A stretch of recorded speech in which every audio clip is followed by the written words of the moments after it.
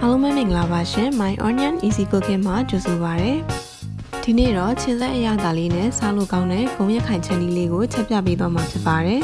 ။ဒီဟင်းလေးကချက်ရတာအရန်ကိုလွယ်ကူမြန်ဆန်သလောက်စားလို့လည်းအရန်ကိုမှကောင်းပါတယ်။ပင်လယ်စာကြိုက်တဲ့သူတွေအတွက်တကယ်ကိုအကြိုက်တွေ့စေမယ့်ဟင်းတစ်ခွက်ဖြစ်စေမှာပါ။ဒါဆိုရင်ဗီဒီယိုလေးကိုဆက်ကြည့်လိုက်ရအောင်နော်။ ဒီဟာကတော့စူပါမားကတ်ကဝယ်လာတဲ့ frozen လောက်ထားတဲ့ဂုံမျိုးစားပါဒီလိုမျိုး frozen လောက်ထားတာမဟုတ်ပဲဈေးကနေလဲလဲဆက်ဆက်ဝယ်လာတဲ့ဂုံမျိုးစားကိုအသုံးပြုရင်ပို့ပြီးတော့စားလို့ကောင်းပါတယ်ခုနကအထုပ်ထဲကဂုံတွေရဲ့သုံးပုံနှစ်ပုံခန့်ကိုရေသုံးချိန်လောက်ဆေးပြီးတော့အခုလိုမျိုးထားထားပါမယ်ငရုတ်သီးစိမ်ကြက်သွန်နီကြက်သွန်ဖြူနဲ့နန်းနန်းပင်စိမ့်စားငပိအနှဲငယ်တို့လိုအပ်ပါတယ်။ မကြီးမဲ့အနှဲငယ်ကိုလည်းအခုလိုရေဖြောထားပါမယ်။ငရုတ်သီးစိမ်ကြက်သွန်အဖြူနီနဲ့ငပိတို့ကိုအခုလိုမျိုးရောပြီးတော့ထောင်းထားပါမယ်။တဲဦးတဲ့ကိုစီနှဲငယ်ထည့်ပြီးစီပူလာတဲ့အခါခုနကကြက်သွန်တွေထောင်းထားတာကိုထည့်ပြီးစီတက်ပါတယ်။ဆနွှဲမုံနှဲငယ်ထည့်ပါတယ်။ပြီးတဲ့အခါအားလုံးသမအောင်မှွေပြီးတော့တေချာလေးစီတက်ပေးရပါမယ်။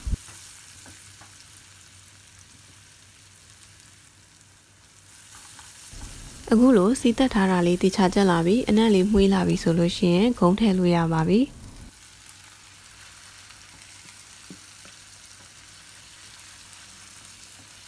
ပြီးရင်တော့စီတက်ထားတာနဲ့အလုံးသမအောင်တေချာလေးလုံးပြရပါမယ်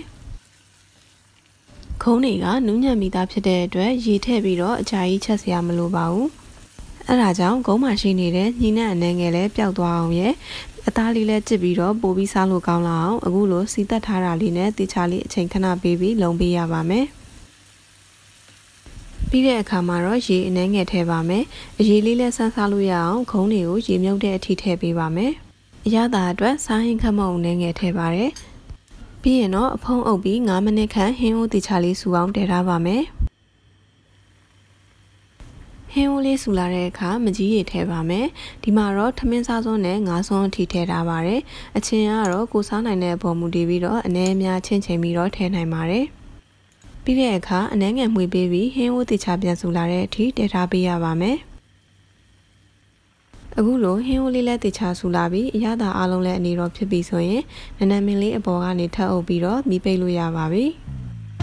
ဒီဟင်းလေးကအရေးလေးလဲဆန်းစားလို့ရတယ်လို့အရသာကလည်းချင်းဆက်ရတာလေးဖြစ်တာကြောင့်ထမင်းနဲ့တွဲဖက်စားတဲ့အခါတကယ်ကိုထမင်းမိန်စီမှာသိချပါတယ်။ My Onion ရဲ့ဗီဒီယိုလေးတွေကိုအမြဲအားပေးကြတဲ့တယောက်ချင်းစီတိုင်းကိုကျေးဇူးများကြီးတင်ပါတယ်။ဗီဒီယိုတစ်တင်တိုင်းသိရအောင်လို့ My Onion ရဲ့ Facebook Page နဲ့ YouTube Channel လေးကိုလည်း Like and Subscribe လုပ်ထားဖို့တောင်းဆိုပါရရှင်။နောက်ထပ်ဗီဒီယိုလေးမှာပြန်ဆုံပါမယ်နော်။ Bye bye